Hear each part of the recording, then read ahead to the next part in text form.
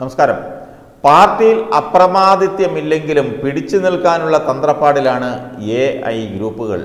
കാലിനടിയിലെ മണ്ണ് പൂർണമായി ഒലിച്ചു പോകുന്നത് തടയാനുള്ള അന്തിമ പോരാട്ടം അവർ തുടങ്ങി. അവരെ കുറ്റം പറയാൻ പറ്റില്ല. ഡി സി സി പ്രസിഡന്റുമാരുടെ നിയമനത്തിൽ ശക്തമായ നിലപാട് സ്വീകരിച്ചില്ലെങ്കിൽ വരാനിരിക്കുന്ന K P C C D C C പുനഃസംഘടനകളിലും ഈ ഗ്രൂപ്പുകളെ തൂത്തെറിയപ്പെടുമെന്ന കണക്കൂട്ടലിലാണ് ഗ്രൂപ്പ് നേതൃത്വങ്ങൾ.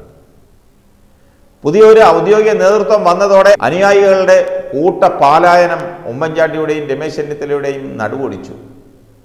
ഇതോടെ പുതിയ ചേരിക്കെതിരെ പിടിച്ചു നിൽക്കാൻ പരമ്പരാഗത വൈരികളായ എ ഐ ഗ്രൂപ്പുകളുടെ ഒന്നിച്ചുള്ള സഖ്യം അതായത് ഐ എ ഗ്രൂപ്പ് രൂപപ്പെട്ടു.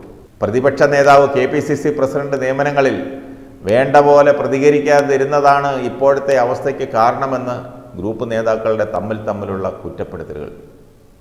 ഇനിയും മൗനം തുടർന്നാൽ വരാനിരിക്കുന്ന പുനഃസംഘടനയിൽ ഗ്രൂപ്പുകൾ തുടച്ചു നീക്കുമെന്നാണ് ഇവരുടെ ആശങ്ക. അതുകൊണ്ട് തന്നെ കുറേ നാളുകളായി ഗ്രൂപ്പിൽ പ്രത്യക്ഷ നേതൃത്വത്തിൽ നിന്നും മാറി നിന്ന ഉമ്മൻചാണ്ടി തന്നെയാണ് അവശതകൾ മറന്ന് സടകുടഞ്ഞെഴുന്നേറ്റ് പുതിയ നീക്കങ്ങൾക്ക് ചുക്കാൻ പിടിക്കുന്നത്. പരസ്യമായ ആക്രമണം തുടർന്നാൽ ഹൈക്കമാൻഡിനെ കൊണ്ട് തടയിടാമെന്നതാണ് ഔദ്യോഗിക നേതൃത്വത്തിന്റെ കണക്കുകൂട്ടൽ. പതിറ്റാണ്ടുകളായി സംസ്ഥാനത്ത് കോൺഗ്രസിനെ ചലിപ്പിക്കുകയും നയിക്കുകയും ചെയ്ത രണ്ട് പ്രബല ഗ്രൂപ്പുകളെ ദുർബലമാക്കിയാണ് പുതിയ ചേരിയുടെ ഉദയം.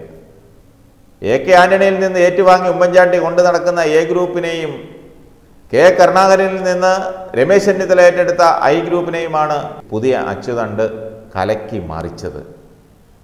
ഗ്രൂപ്പ് നേതൃത്വങ്ങൾ ഇടഞ്ഞു നിൽക്കുമ്പോഴും ഹൈക്കമാൻഡിനെതിരെ തൽക്കാലം പ്രതിഷേധിക്കേണ്ട എന്നാണ് ഈ ഗ്രൂപ്പ് മാനേജർമാരുടെ തീരുമാനം. എന്നാൽ കെ സി വേണുഗോപാലിനോട് ആ വിട്ടുവീഴ്ചയില്ല.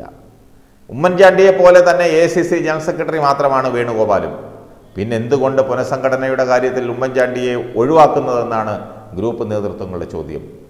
ഇല്ലാത്ത അധികാരം ഉണ്ടെന്ന് കാണിക്കുകയും ആളെ പിടിക്കാനുമാണ് കെ സി വേണുഗോപാൽ ചെയ്യുന്നത്.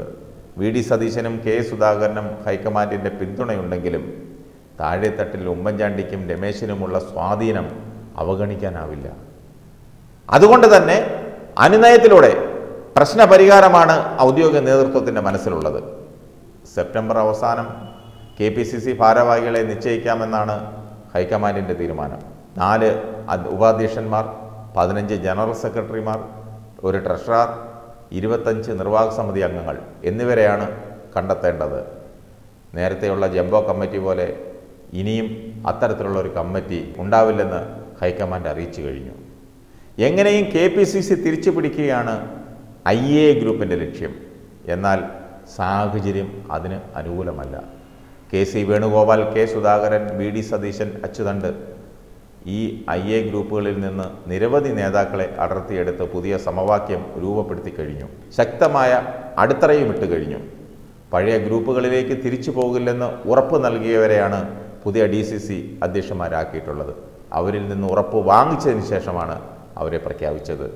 പട്ടിക പുറത്തു വരുമ്പോൾ പ്രതീക്ഷിച്ച വൻ പൊട്ടിത്തെറികൾക്ക് തടയിടാൻ കെ. മുരളീധരനെ പോലെയുള്ള തിരുവഞ്ചൂർ രാധാകൃഷ്ണനെ പോലെയുള്ള രാജ്മോഹൻ ഉണ്ണിത്താനെ പോലെയുള്ള തലമുതിർന്ന നേതാക്കളെ അവർ രംഗത്തിറക്കുകയും ചെയ്തു.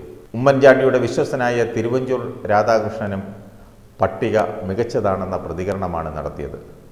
താൻ ഇപ്പോഴും എ ഗ്രൂപ്പിന്റെ ഭാഗമാണെന്ന് ആവർത്തിക്കുമ്പോഴും തിരുവഞ്ചൂരിന്റെ ചുവടുമാറ്റം ഐ എ ഗ്രൂപ്പിന് വലിയ അടിയായിരിക്കുകയാണ്.